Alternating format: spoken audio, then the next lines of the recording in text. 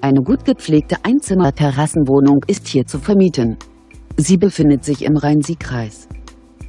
Die Immobilie wurde 1995 erbaut und wird über eine Gaszentralheizung beheizt. Die Wohnung verfügt über einen Balkon, ein Badezimmer, eine Einbauküche, einen Keller und einen Parkplatz. Die Ausstattung befindet sich in einem gepflegten Zustand. Die Terrassenwohnung bietet eine Wohnfläche von ca. 37 Quadratmetern. Die Gesamtmiete dieser Terrassenwohnung beläuft sich auf 450 Euro. Wir informieren Sie gerne unter eingeblendetem Kontakt näher.